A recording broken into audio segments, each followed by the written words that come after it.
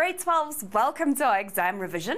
I'm very excited to be here with you today because now it's the last little push that's left. You guys have written your prelims and now think about it. In a month or two, you're going to be finished with school, but now you just need to put this last little bit of hard work in. And I'm here today to help you, and we're going to look at a few questions from last year, the 2012 prelim.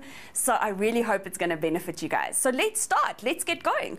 You can see that on the screen, we're talking about business ventures. This is our second learning outcome in business studies. And I made a quick little note here for you what you need to know under this learning outcome.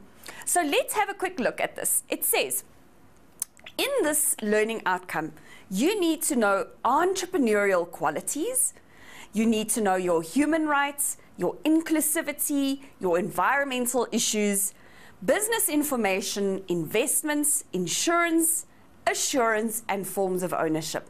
Now, I'm not going to go into detail with this. I'm not going to teach you about this again. And I really hope by now this all rings a bell because these are main chapters in your book that you need to know already. So this is purely a checklist for you guys. But let's start and fly away with our questions. Question one I started off by putting a multiple choice question and then underline the correct word and match the columns. So it's basically a little bit out of the paper that covers your business ventures topics. So our first question reads as follows. Various options are provided as possible answers to the following questions. Choose the answer and write only the letter. Our first question says, a what is a circular representation where the information is divided into different categories and each segment represents a portion of 100%. I want to quickly show you guys. If I think of a circular representation, I automatically think about a circle and then it says the information is divided into different categories. So it could be something like that or whatever.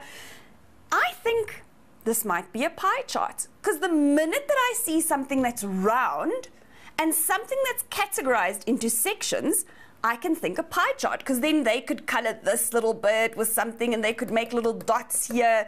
So I know the answer is C, a pie chart. Let's carry on to my second question. Blue and Berry cell phone repair shop is A. Now we need to choose a form of ownership. But they give us a clue here. It says, and therefore has unlimited liability. Grade 12s, let's think back. What is unlimited liability? It says there is no limit to what I can lose in this partnership. Remember, I have put in capital, but now they're saying to me, unfortunately, there's no limit to what I can lose. If this business goes down, unfortunately, I might lose my personal possessions and all the money that I've put into this business. So, which forms of ownership do we know have unlimited liability? There's only two of them. It's a sole trader and a partnership. The others a CC, a private company, and a public company have limited liability. There's a limit to what we can lose. And that's a big benefit of a CC and a company. But now they're asking us what form of ownership in these options have unlimited liability? Our answer is, as you can see, A, a partnership. As you can see, the other options didn't include anyone that has unlimited liability. So there was no sole trader in the rest of the answer. So we know that the answer was a partnership. Let's look at question 1.3. Choose the correct words from those given in brackets. The rate at which the Reserve Bank lends money to commercial banks is known as the prime or the repo rate. Now, let's quickly think about what that is. What is the prime rate? That has to do with lending out money to the public. It doesn't have to do with the Reserve Bank lending out money to commercial banks. So we know that it's called the repo rate. The answer is the repo rate because the prime lending rate is what we, us normal people, will go to a bank and lend money at. That's the prime rate. Question 1.4. Choose a description from column B that matches a term in column A. The JSE and entrepreneur. So let's have a look at the options that they give us here. Option A says takes calculated risks. Now that automatically sounds familiar to me, but let's read through all of them. Number B says South Africa's inflation rate is a steady 4.6%. Number C says serves as a link between the investors and entrepreneurs. Then question or option D says more organizations are looking for alternative solar power. So mm, that doesn't make sense to me for JSE or an entrepreneur. That first one still looks very familiar to me. Takes calculated risks. We know that an entrepreneur isn't afraid to take risks. So the answer for 1.4.2 entrepreneur is A. Now we need to go and look quickly. What is the JSE? We know that it doesn't have to do with inflation. We know that it doesn't have to do with solar power. So that leaves me with option C, where it says it serves as a link between the investors. So my answer is C. Question number two. Now, this is quite a long answer, and we're going to discuss it a little bit, but let's read the question. It says, Describe five ways in which a presenter should handle feedback and respond to questions after a presentation. Now, firstly, you need to see that this is for 10 marks. And I actually say describe five. So 5 times 2 gives me 10. So I need to have at least five full sentences for my 10 marks here. I can't just go and put 10 keywords down and think I'm going to get my 10 marks. You need to have five points that you are a full sentence describing something so you can get two marks per point. So we're clear on that. Now let's look what they ask us here. They say, how does the presenter or how can he handle feedback about his presentation? And how can he respond to questions? Now, that could be the audience member asking him questions because often you'll have to have a question and answer session at the end of your presentation. So, let's talk about the first one. Let's see how can this man handle feedback? Now, feedback isn't always good. Feedback could be negative. But I would say, very importantly, the first point that we need to remember is you need to be optimistic. You need to be positive. Listen to what the person is trying to tell you and then only respond. That is very important because they're giving you feedback. You can't just jump in and say to him, No, this is not fair. I didn't do it. So listen and then respond. Now, let's think about feedback. I think it's very important that you stay calm. You do not become defensive. Stay calm. And don't be defensive. Because what is this going to look like if you get feedback and now you are all aggressive? Stay calm and don't get aggressive. Now, the next little section says, how can I respond to questions? Now, very importantly, I'm going to say the same thing here. We said listen and then respond. You need to listen to the questions that they're asking you. You need to make sure that you understand that question. So, firstly, I'm going to say to you make sure that you write down the question and that you completely understand this question because otherwise you might fly away with an answer, but it's completely wrong and you're going to look like a real pauper. So make sure that you understand the question. Then you had to listen, you had to respond. But it's very important when you are answering someone's question that you don't just talk to that person. You must address the entire audience. You are answering to everyone. Yes, yes, yes, this is my answer. You're not just looking at this poor person that just asked you the question because the rest of the audience is going to feel like they're not even talking to me. So, address the entire audience. Talk to the entire audience. Now, we have four points already. Let's think about another one. If someone asks you a question, it's very important that you give him the utmost information that you can. But it's also important if you don't know the answer to a question that you're not going to lie. You're not going to stand in front of the audience and pre pretend that you know the answer. It's very important that if you do not know the answer, that you are going to be very clever and you're going to say, That is such a good question, John. Let's hear what the audience says about this question. So you're pulling the audience into this, but actually it's because you don't know the answer. So be creative when you have this situation. Be creative and involve your audience. That way, um, you can make them part of it, you can pull them into it, and they're going to enjoy it a lot more. Involve your audience. All right. I hope you guys understand that. And with the 10 marks here, they will accept other answers as well. This is definitely not the be all and end all. This was my opinion about it. There can be a whole page of different answers that they can accept here, but this was purely a guideline to what they can ask. Let's move on to question three. It says, read the case study below and answer the questions that follow. Now you'll see this person bought a house in 2011 at a market value of 400,000 Rand.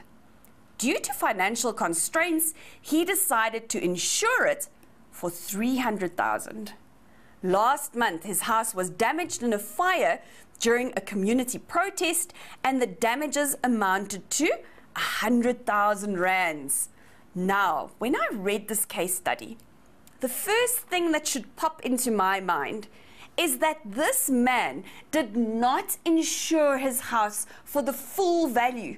You can see that he bought this house for 400,000. But due to the fact that he was having financial strain, it was hard for him.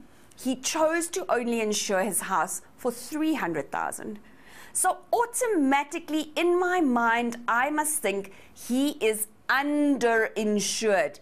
He has not been paying enough to cover that full value, the 400,000.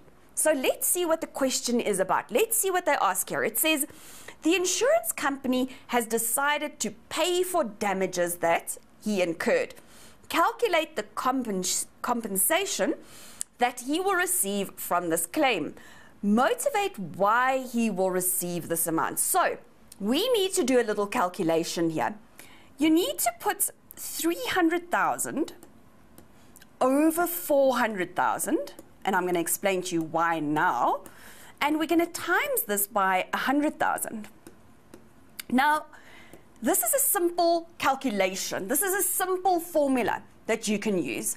We always use the top amount as the insured amount. I'm going to put a little I there for you guys so that you can remember that. And then at the bottom, I'm going to put an M that says, this is my market value. This is what the item or the house or whatever you've insured is worth. And then this 100,000 is what the damage was. I'm going to say D in brackets there so you can remember this. So let's grab a calculator and do this calculation. We said it's 300,000 divided by 400,000 and then we said times 100,000. That gave me an answer of 75,000. Just quickly want to do that. 75,000 rands. So now this was the one section that they asked here. They asked us calculate how much this insurance company is going to pay out. Now we know that this person hasn't been paying what they should be paying. So they can't pay this guy 100,000. That would not be fair because remember, we cannot make a profit out of insurance. So they are only going to pay out 75,000 rands. Now let's see, we also need to motivate why this is happening. I want to see that you guys are writing there because this person is underinsured. They cannot pay out the full amount. Underinsured. Because we cannot make a profit out of insurance. Insurance says to us they will put us into the same position that we were before the loss occurred. So, because he chose not to cover the whole value of his house, they choose not to pay out the 100,000. So I want to see under insurance there. I want to see he cannot make a profit out of insurance. And I also want to add here that he will be put back into the same position that he was before the loss happened. The same position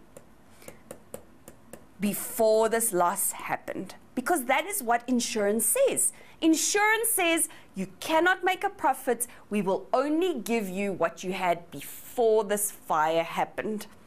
Let's see what 3.2 asks. It says, explain to this man the principle of reinstatement and also why it is not applicable to his insurance claim. Now, let's think a bit. When we did insurance what does it mean? What was that principle of reinstatement? Firstly i need to define this. I need to write here reinstatement says that the insurance company has the right to replace or to rebuild my lost or damaged property. Now they also say to me, and why is this not applicable in his claim? Because he is underinsured. I want to definitely see that answer here again. Because he is underinsured, they cannot give him what he had before this loss happened. They cannot pay out a hundred thousand. They cannot rebuild his house for what it was worth because he hasn't been paying enough every month. So, for four marks, you can talk about the fact that indemnification, I'm going to write this here for you as well. Indemnification says that you will not make a profit out of insurance. All right. Indemnification. Wow, that's a long word. Indemnification. And it's even spelled right. Indemnification says you will only be put into the same position that you were before this loss happened. You cannot be better off. Because remember when we did insurance, I explained to you guys that you get people out there that lie to insurance companies if something happened, if they break into your house, now you say, oh, oh yes, let's lie to the insurance and say that they stole the TV and the DVD recorder, but they didn't actually. So that is against the law. That is fraud. And that is why we say we cannot make a profit out of insurance. Insurance is there to put you back into the same position that you were before this loss happened. So I hope you guys are clear on this. I think we should take a quick break and then we'll be right back.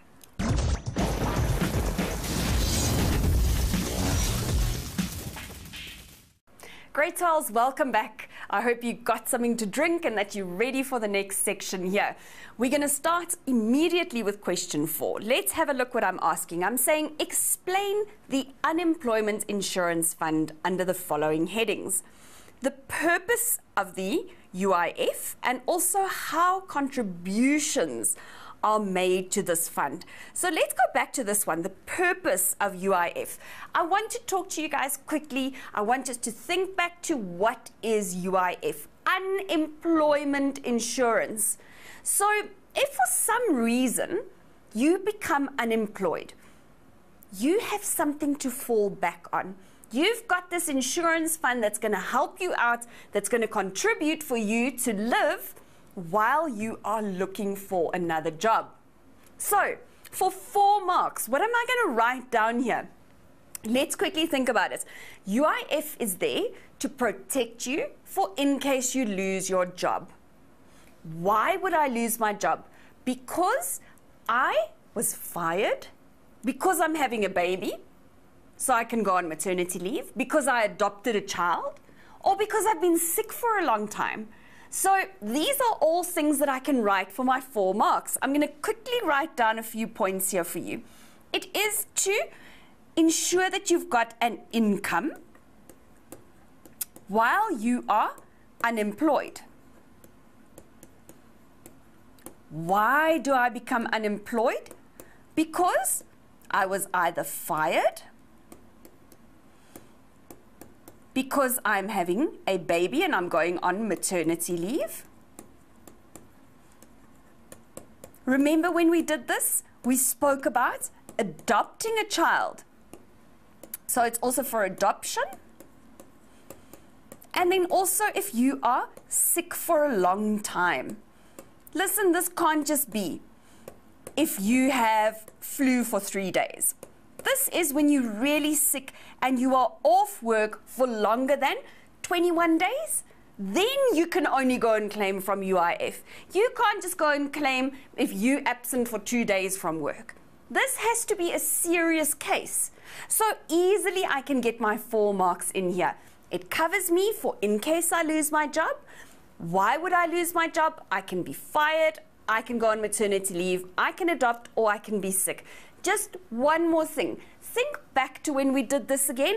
I said to you, you cannot claim from UIF if you decide that you are going to stop working. If you quit your job, if you've had enough of this, you decide you're going to go and play golf for three months, you cannot claim from UIF because they will turn around and they'll say to you, but you had a job. You chose not to work anymore, so we're not going to pay for you to sit at home and do nothing. So please remember that you cannot claim from UIF if you decide to leave your job. The next section of this question I said, how are contributions made to this fund? Now, there's a 2% contribution that happens. And how is this 2% contributed? The employer contributes 1% and the employee contributes 1% of the total of their salary. So let's have a look. I'm going to make a quick note for you guys here. There's a 2% contribution, of which 1% is contributed by the employer, and another 1% is contributed by the employee, giving you your 2% contribution. There we go. That was question four. Let's have a look at my next question. We're going to talk a little bit about forms of ownership now.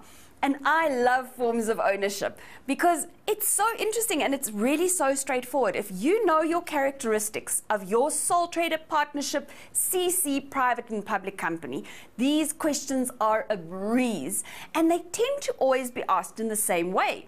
So it's really not hectic. It's not that bad. Let's have a look at what I've asked here. I say discuss how the following factors will have an effect on the success and or failure of a company. Look at that. That is very important, grade 12s. I am asking you to talk about a company. Now, I would make a little note here for myself. Remember that a company can either be a public company or it can be a private company. And in other words, we can talk about both of those because they didn't specify. They didn't say to me, discuss a public company or specifically a private company. They are just saying, discuss in terms of companies. Now, the first thing they want us to talk about is capital. Capital means money. Where do they get their money from? Who can think?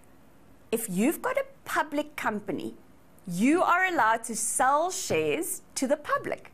public company. Think about it. They sell shares to the public on the JSE. So I can get capital from there. I can say, I want to expand my business. I want to go build a new wing or a new section in my business. Where am I going to get the money from? I can decide to go and sell 100 more shares on the JSE. People are going to invest, they're going to give me their capital, and I can go and expand or build something new or get a new product or whatever. So, is that a good thing or a bad thing? I think we could say it could lead to the success of a company because now we've got more funds coming in. We've got that benefit of saying, let me just put some more shares out there and I can get some more capital in. But it can also lead to the failure. Because what if I make this choice hesitant, oh I'm just going to quickly put on 100 shares and then I can't pay them back. I can't pay them dividends. What's going to happen? The public is going to be very unhappy. They're going to say, hmm, no, I'm going to sell my shares because this company isn't doing well. They're not even paying me dividends. And then what's going to happen? We've now expanded our company and people are withdrawing their money. This can lead to the total failure of our company. Let's think about it now. If you've got a sole trader, you've got one owner, you've got one person that can contribute capital. So your capital is very limited. Where if you've got a partnership uh, uh, sorry, a public company or a private company, you can have a lot more people involved.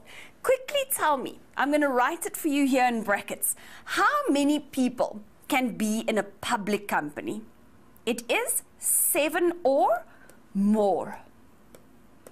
And then how many people can be in a private company is minimum one to maximum 50. So that is a way lot more than you can have as a sole trader or a partnership.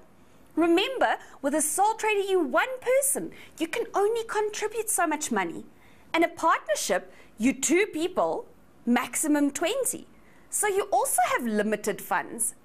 Now this, for a company, can lead to the success because you've got more owners, more shareholders, you've got more capital coming in. At last today, I have got an essay question. I thought it's time for us to put this in. In previous lessons, you've asked me about it, and I've said, we will do it, I promise. So today is the day we're going to talk about an essay question. So breathe, relax, get your notes ready, and here we go. I said, James and Ntokoza run a successful partnership at Empangeni known as JN. Look at this very important one JN Partners. They want to increase their wealth and capital by investing some of their business income they have generated over the past five years. Now let's see what they are asking. They're saying, as a financial advisor of JNE Partners, evaluate the different factors that must be considered when making informed investment decisions. Also, explain five types of investment opportunities. Five types. And elaborate on the risk factors. So I'm going to underline that as well for each of these. Now, I know that you often freak out for essay questions. They tell you exactly what to do. You can see very clearly that they're asking here for your factors that you need to take into consideration. They're asking you to discuss five investment types, and they're asking us to talk about those five investments risk factors. Easy, easy. The first thing that we need to remember when we're doing an essay is that you must have an introduction. Now, I've put a little memo on here because it's so much writing, so please, I'm sorry if it's a little bit small for you to read, but I'm going to talk about it as we go through it. Just going to make it a bit easier so I can chat to you and not write the whole time. The first thing that I want to do is I want to write an introduction. I will underline it here for you. An introduction, we need to talk about the question. We need to say, this is what is required of me. So I've said to you guys here, remember we need to talk about the factors, we need to talk about five types of investments, and we need to talk about the risk. So let's see what I said in my introduction. I say, investors have a range of investment options to choose from. They must ensure or they must measure these investment opportunities against the criteria for good investment. Investors set financial goals and consider different factors when they make their decisions. Also, obviously, whatever you choose to talk about is fine. But look at this. I'm saying that only a maximum of three marks will be allocated for your introduction. So grade 12s, do not go and overwrite the story. Do not go and write half a A4 page for your introduction. It's going to waste your time. Have two sentences, three sentences, and you carry on. You start with your actual body of your report or your essay. Now, let's have a look here. The first thing that we're going to discuss is the factors that we have to consider when we want to invest. I've got the factors here. You guys will remember from your work, if you scroll down and have a look here with me, there are nine factors that I need to take into consideration. We are going to discuss each one of them. The first one is return on investment. Now, listen to the name return on your investment. What are you going to get back? This could be interest, this could be dividends, and this is what is important to me. As an investor, I want to know that I'm going to get something back for the money that I've put into it. So it has to be good. And look at this. It says this return should be expressed as a net after tax return. We need to have a look at the net after tax return. This should be higher than the inflation rate. What is the inflation rate? inflation rate says we can have a look. There's always a trend happening where it says when inflation goes up, it means that the prices are going up of goods, but my buying power is getting less. So, what they're saying here is it's very important that my investment must beat inflation. Because otherwise, my money is going to be worthless. I can't even buy anything with it. So, why am I going to invest in it? Our next factor that we're going to talk about is the risk. Now, they're saying here the higher the risk, the better your chance of earning something, of getting a return, of getting a high return. And the lower the risk, the less of a risk you take, the safer option, you probably won't make so much. But this depends on the person because you will get people that, oh, we're not scared, I'm going to invest everything you're willing to take a high risk. But then you get people that are really scared and going to say, mm, no, I think I'm going to be safe. I'm going to take a low risk investment. So let's have a look. I want to quickly underline there for you. We need to talk about risk.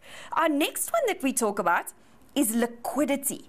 Now, I underlined here, I said the term liquidity is used to describe the ease and the speed with which you can convert an investment into cash.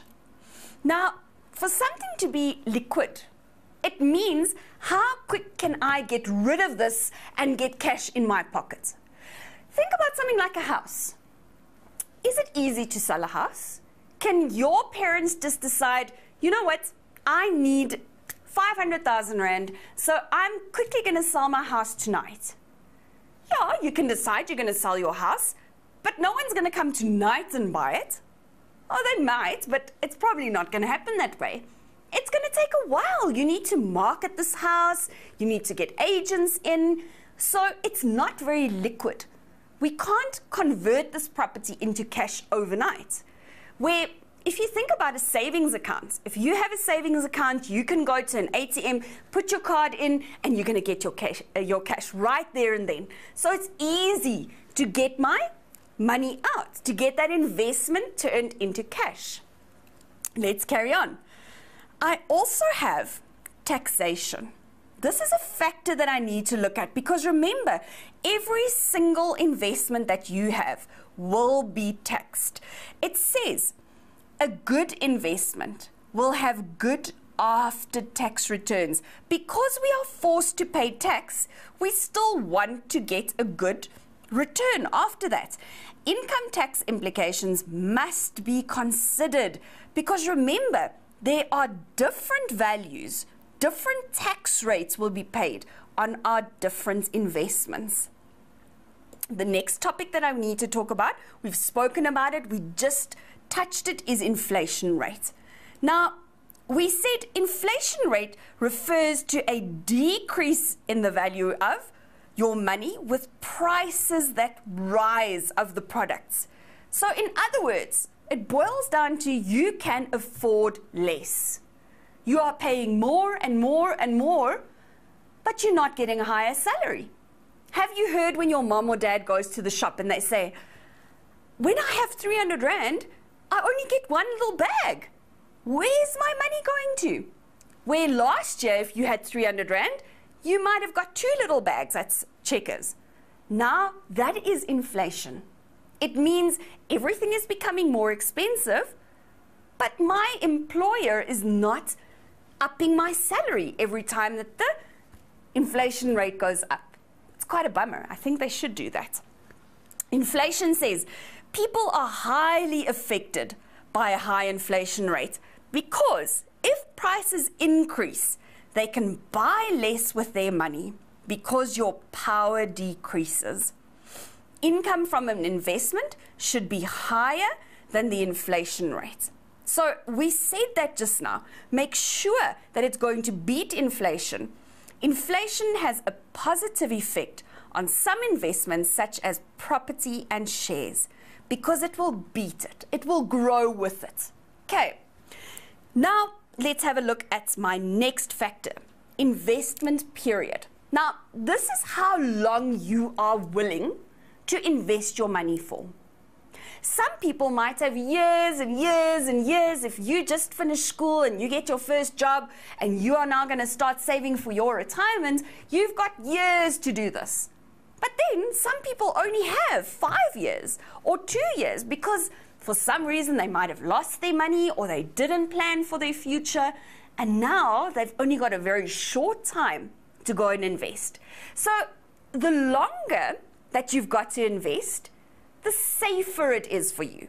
You can then spread around all your investments, a little bit in high risk, a little bit in low risk, because you've got time. You've got time to make your money. If you only have a short time to make your money, this isn't so nice for you because you probably will have to take high risk investments out to make your money, such as shares. You're going to have to gamble a little bit with this money. And very high risk, you might lose everything, which is very concerning, especially if you've only got two years against or to save for. My next one says investment planning factors. Investors must consider the safest possible investment. Some opportunities offer low income, but it could be safer. Now, if you are willing to take a risk, you know that your chance is better of making money quick. So, this is a personal thing. You can say, Yes, I am not interested in making an income. I have 20 years, so it's okay. I'm, I'm very chill. My money can grow over a long time. But they're saying here, examine opportunities with a history. You need to go and make sure. Look into your different investment opportunities. Guys, this point is so important. Divide your investment between different opportunities. We call this diversification. For you to have a diverse investment portfolio, it means that you are not putting all of your eggs into one basket. I'm not putting all of my money in shares or all of my money into a house. I'm putting a little bit in shares, I'm putting a little bit in a house, putting a little bit in my bank account. For in case something happens to one of them, I know that I've still got the backup of the other two. Do you get it? Cool, let's carry on. Now, we also need to talk about budgets. A budget is drawn up to see if you have surplus money that you can invest. It's all very nice and dandy if you decide that you're going to invest, but you can't afford it. So budgets can be short term, medium term, or long term. But remember that you need to look out for your unforeseen costs. What is an unforeseen cost?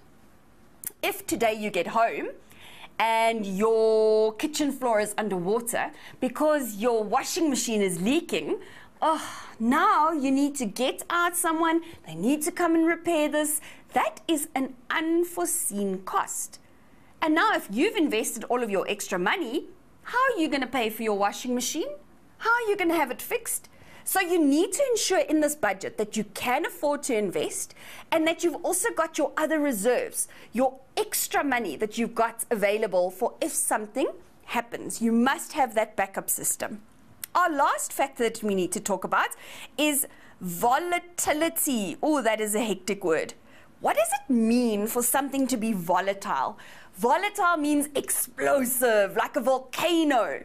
Now, if we look at it, markets can be volatile.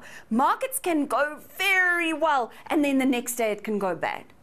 Even a few hours later, something can go wrong, and then it drops and you lose all of your money. So we're saying here that fluctuations, this means when there's differences in national and international economic trends will have an impact on the markets. The level of volatility will determine my amounts of returns. Now we've covered the one thing. We had an introduction. We spoke about our factors we need to consider. The next thing they asked of us is to have five investment types. Now, you'll see I have put in a lot of different answers here that you can discuss. I'm going to briefly go through them because we did all of this when we did investments, but I'm going to go through and quickly explain to you what you can do. Now, quickly listen to me, grade 12s. If they ask you for five, you only do five. It doesn't happen or, or help if you think you're going to be clever now and do 10 because they're going to stop marking it. They very clearly say only the first five will be marked. So you're wasting your time.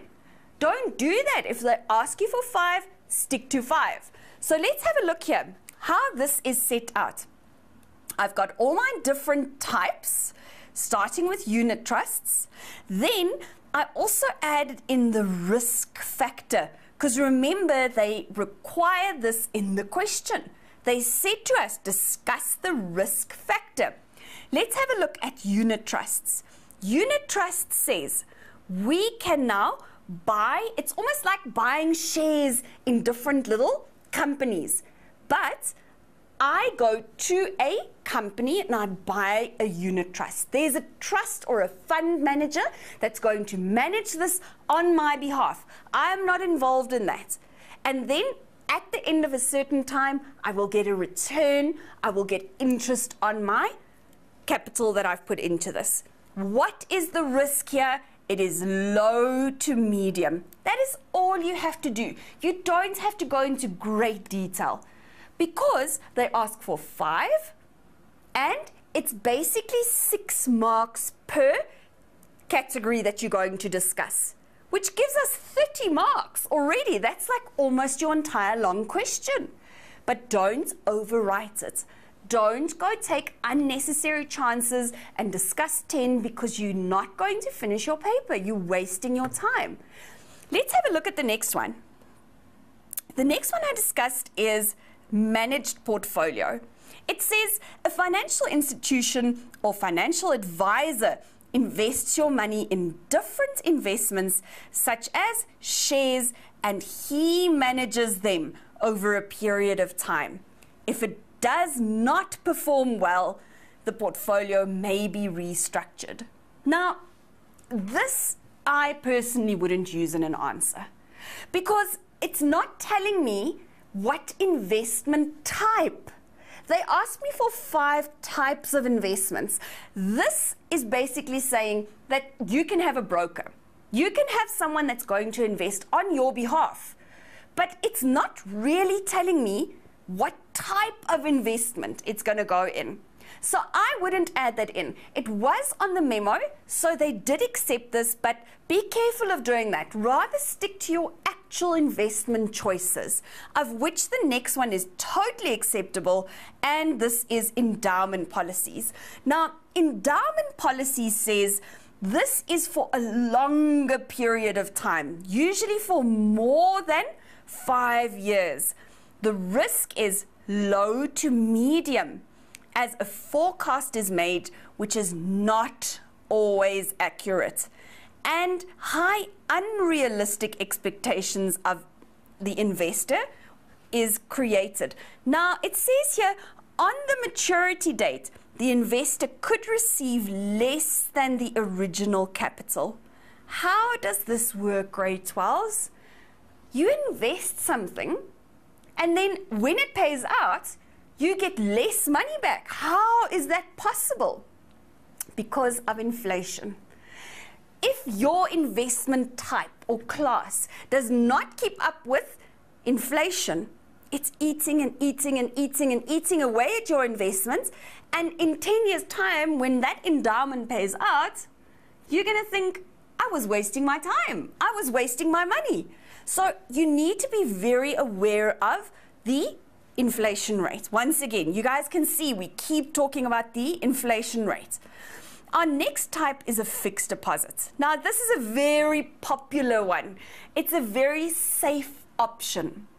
A fixed deposit says, I put my money into this account for a fixed period of time. I can get my money back, but I usually need to give them, if you have a look here, I didn't include it in there, but I need to give them a notice period if I want to withdraw my money before that period is over. But you'll see it's a very low risk factor. Your money is safe. It's there in the bank. Someone's looking after it for you. Then I want to skip here to bonds. A bond is something that I need to buy a house or to buy a building. Now they're saying here, this is for big capital projects such as buildings, where our rate of return is normally above average. Rate of return meaning your interest that you're going to get back. They're saying that it's usually above average. So it's a very good investment choice. The risk factor is high though. So this is not for my person that's scared. This is not for the person that only has a year to invest because what if they lose everything? Let's have a look. It's high because some buildings could be overvalued and may not generate the required return when it is resold. So be very careful with that one. Make sure you remember it's a high risk. Now, property itself, I would definitely use property. Property can keep up with inflation. As you hear, we've been talking about inflation a lot. Um, the only drawback with property is that the location can have a big influence on this let's say you buy a house and 10 years later, this area is so full of crime and the houses have gone down. Now you want to resell and you're probably not going to make a profit off it because the location is so bad. That's why they're saying it could be high depending on the location. If you buy in an area that you know is really established, everything's going well there, it won't be a high risk. It will be a low to a moderate risk. So grade 12s, make sure that you explain this risk in the correct way. Let's have a look at the next one. Our retirement annuity, an RA, remember they can ask you what is an RA? It's a retirement annuity. This is something that we take out, we pay a monthly premium for it, and it's over a long period of time before we retire. Now, this is definitely low risk. Definitely. If you start contributing when you are 30 years old and you pay every single month, then at the end, when you're 65, you're going to get a big lump sum of money that's going to pay out. You will be taxed on it though, but it's safe. It's being looked after. Nothing's going to happen to your money. So it's a good investment opportunity or good category. offshore investments. This means when you are investing your money outside of the country, into a foreign country, a different country. So we need to be careful of this because it can be high risk. It can be a bit of a dangerous situation because we don't always know what's happening in those countries. What if their economy crashes? I'm going to lose all my money. So I need to make sure that I've also got some investments in South Africa, that I know that I've got a little backup to come back to for in case something happens with this. So once again, it could be high risk because of the performance of that country. If we know the country is doing well, if it's a stable economy, then it will only be a low to medium risk. I also added in here life assurance because that can also be an investment. If I invest into this policy every single month, it will pay out if something happens. In other words, if I die.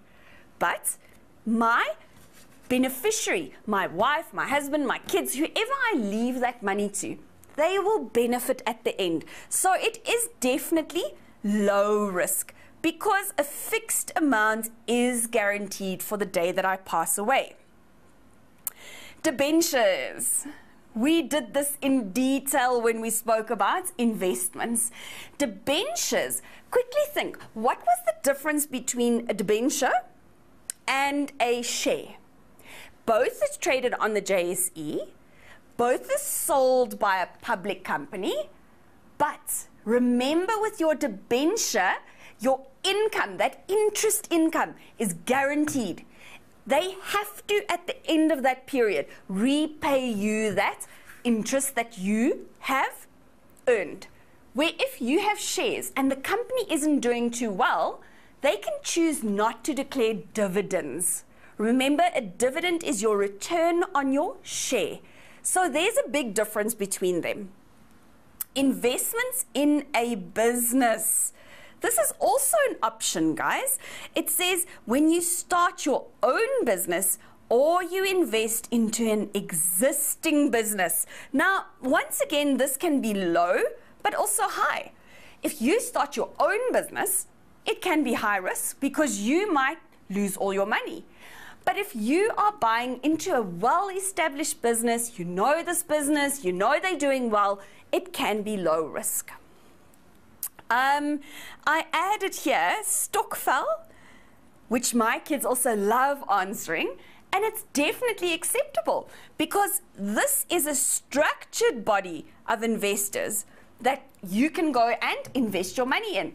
Once in a month or in a week or however your Stokvel works, it's your turn to get that amount of money that's coming your way.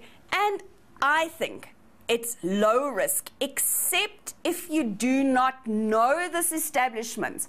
You need to be careful of that because they might disappear with your money. The last thing, grade 12s, that we need to include is a conclusion. A conclusion is just as important as your introduction. So you need to conclude. You need to now say, after doing this essay, this is what I have found.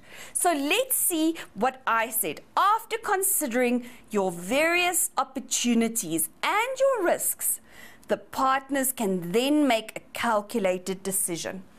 Only two marks will be allocated for your conclusion. So once again, don't go write half a page. You are absolutely wasting your time. They'll never allocate 10 marks for an introduction or a conclusion you write one or two sentences. You can even go so far to say, after looking at these investment types, I think they should invest in property. You can make your suggestion if you want to. And that is the end of our essay. Grade 12s, I really hope that you are going to work hard for your exams, that you're going to go and study and prepare well, and that it really, really goes well with each and every one of you.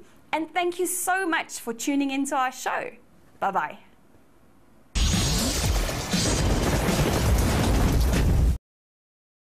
But let's read through all of them. Number B says South Africa's inflation rate is a steady 4.6%. Number C says, serves as a link between the investors and entrepreneurs. Then question or option D says more organizations are looking for alternative solar power. So mm, that doesn't make sense to me for JSE or an entrepreneur. That first one still looks very familiar to me. Takes calculated risks. We know that an entrepreneur isn't afraid to take risks. So the answer for 1.4.2 entrepreneur is A. Now we need to go and look quickly. What is the JSE? We know that it doesn't have to do with inflation. We know that it doesn't have to do with solar power. So that leaves me with option C, where it says it serves as a link between the investors. So my answer is C. Question number two. Now, this is quite a long answer, and we're going to discuss it a little bit, but let's read the question. It says, Describe five ways in which a presenter should handle feedback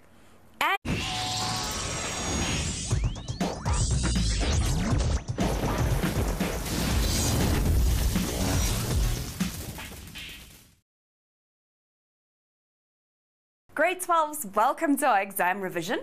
I'm very excited to be here with you today because now it's the last little push that's left. You guys have written your prelims and now think about it. In a month or two, you're going to be finished with school, but now you just need to put this last little bit of hard work in. And I'm here today to help you, and we're going to look at a few questions from last year, the 2012 prelim. So I really hope it's going to benefit you guys. So let's start. Let's get going. You can see that on the screen, we're talking about business ventures. This is our second learning outcome in business studies. And I made a quick little note here for you what you need to know under this learning outcome. So let's have a quick look at this. It says, in this learning outcome, you need to know entrepreneurial qualities, you need to know your human rights, your inclusivity, your environmental issues, business information, investments, insurance, assurance, and forms of ownership. Now, I'm not going to go into detail with this. I'm not going to teach you about this again. And I really hope by now this all rings a bell because these are main chapters in your book that you need to know already. So this is purely a checklist for you guys. But let's start and fly away with our questions. Question one I started off by putting a multiple choice question and then underline the correct word and match the columns. So it's basically a little bit out of the paper that covers your business ventures topics. So our first question reads as follows. Various options are provided as possible answers to the following questions. Choose the answer and write only the letter. Our first question says, a what is a circular representation where the information is divided into different categories and each segment represents a portion of 100%. I want to quickly show you guys. If I think of a circular representation, I automatically think about a circle and then it says the information is divided into different categories. So it could be something like that or whatever. I think this might be a pie chart because the minute that I see something that's round and something that's categorized into sections, I can think a pie chart because then they could color this little bit with something and they could make little dots here. So I know the answer. As you can see, the other options didn't include anyone that has unlimited liability. So there was no sole trader in the rest of the answer. So we know that the answer was a partnership. Let's look at question 1.3. Choose the correct words from those given in brackets. The rate at which the Reserve Bank lends money to commercial banks is known as the prime or the repo rate. Now, let's quickly think about what that is. What is the prime rate? That has to do with lending out money to the public. It doesn't have to do with the Reserve Bank lending out money to commercial banks.